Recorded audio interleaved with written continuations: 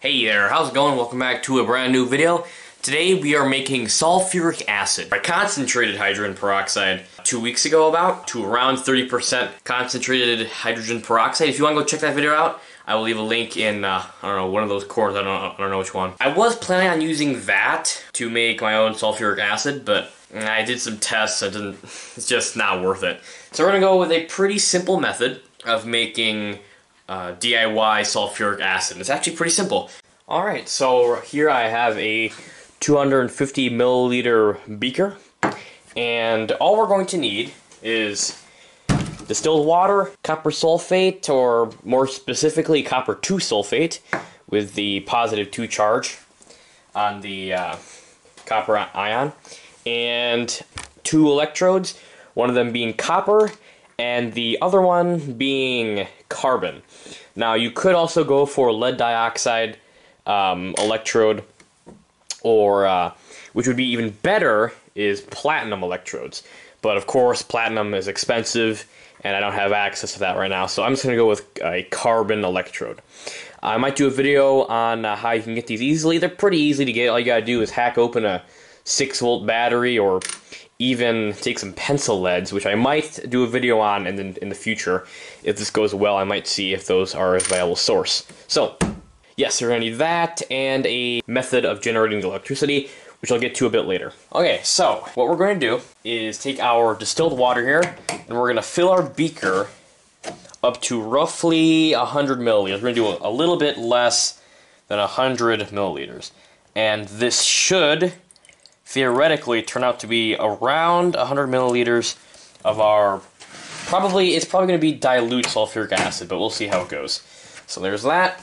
Now we have a bit under 100 milliliters of distilled water. And to that we will add approximately eh, we'll probably go for around 6 grams of our copper 2 sulfate. Put some of this on here. I'm using a piece of paper as a weighing uh, paper, but that should be fine. So now I'm going to transfer the 5 grams of copper 2 sulfate into the beaker of water. And there we go.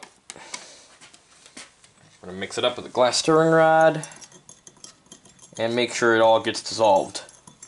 I think we're going to need a little bit more water than that actually. Plenty more water that came from. Just like that. We have our solution of copper 2 sulfate dissolved in approximately, that's just a little over 100 milliliters of water there. Probably around 110 milliliters.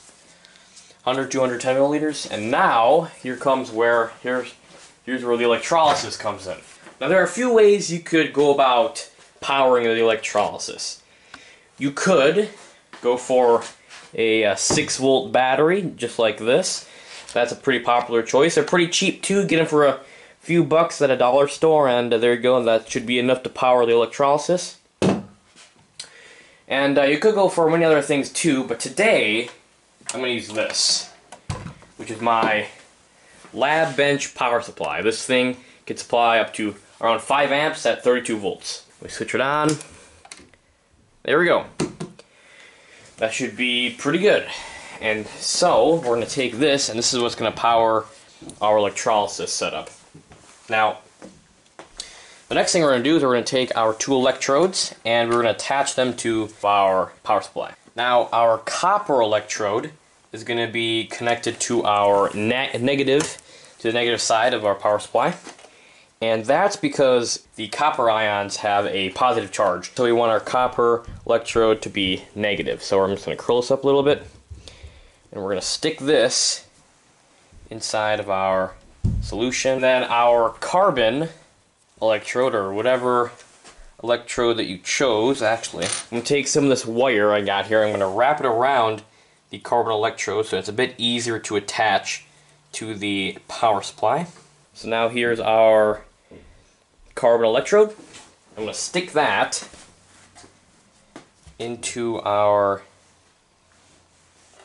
solution here.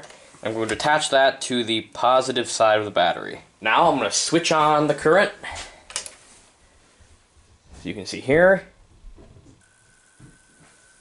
And we should see the voltage and current start to rise. I'll point this at the solutions here, here so you can see exactly what's going on, and there you go. Now, I'm going to go into the science of how this is working a little bit later, but right now, we're just going to watch the pretty uh, chemistry happen. Now, the reason why I'm using this power supply and not something else is because I want to be able to control the amount of current flowing through the solution. Right? I want to try to minimize the amount of erosion erosion happening to the carbon electrode. Because it's going to erode. I'm going to have to I'm going to have to filter out the carbon particles later, but it should make do for now. And this actually may take a little while, so uh, I'm just going to give you status updates every once in a while. Alright, I'm here to give you the first update. It's actually been a few minutes later since I recorded the last segment. And I just want to show you, look at that. On the copper electrode, you can see pieces of what appears to be copper metal forming on the electrode. Now that's pretty sweet. Because, actually no, I'm not to go into science right now, but uh, I will go into the science later. oh, and just to clarify, I'm, I'm currently sitting at 13.6 volts at around 0.41 amps. So uh, just to clarify that, just in case any of you were interested.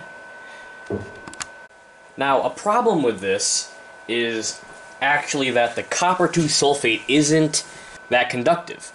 So, we're going to have to start out with uh, quite a lot of power, but then over time we should be able to lower it a bit. But, uh, yeah, it's, it's going pretty well. Alright, it's been about 20 minutes later, and I think it's time for our first filtration here I'm going to shut off the power. And there it is. There is our very dirty solution. It's filled with a bunch of carbon particles right now. That's why it has that black, black color. But uh, no problems. That's exactly what I was expecting. So here's our carbon electrode. It actually doesn't look too bad. Doesn't actually look too bad. Set on this paper towel. And, alright. Now here is our copper electrode. All those copper particles are not actually attached to it. That is fascinating. I was not expecting that to happen. I figured they'd all be connected to one thing, but I guess maybe the carbon interfered with that or something.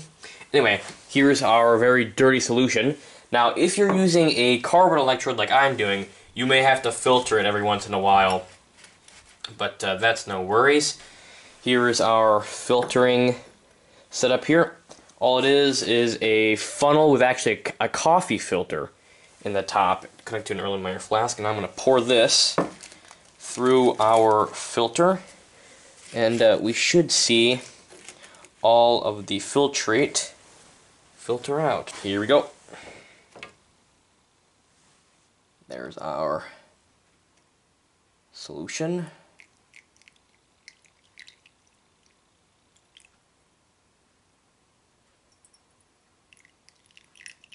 Alright, as you can see here, I have filtered off the solution, and it's this pretty blue liquid again, just like before. But now, we should have a slightly more uh, concentration of uh, sulfuric acid uh, in there as well.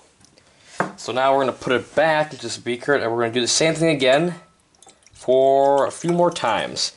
And we'll know that we'll that we're that we're done once the solution is pretty clear. It's still pretty blue, so that means we're going to keep going. Sorry about the noise in the background, that won't be in, the, in most of the video, but I just want to show you this cool little thing that I just thought was kind of interesting. Here's a clean glass stirring rod. I'm going to dip it into the solution here. Pull it out. Look at that. Look at how much carbon is on that glass stirring rod. Holy crap. So, be warned, Alright, so I'm uh, back with another segment here. So this is actually the next day because the electrolysis is taking way longer than I thought it was going to. So it, it, it was going on for about three to four hours yesterday. I'm just getting started with the second round today. And uh, one of the reasons why I stopped is because if you look at this. This is what's left of my um, carbon electrode. It's completely eroded away, and so it's there's like basically nothing left. So I did is I rigged up this little device, and uh, it's basically a bunch of pencil leads. Of course, you know how pencils aren't really lead anymore; it's just graphite. And so I, I figured it'd work, and I think it's working. The electrolysis is continuing to happen with a bunch of um, pencil leads kind of taped together. It's it's a bit of a it's not very ideal, but it works. So so that's that's that's what we got now. But yeah, hopefully hopefully the electrolysis will finish today because I don't feel like spending more time on this stupid thing.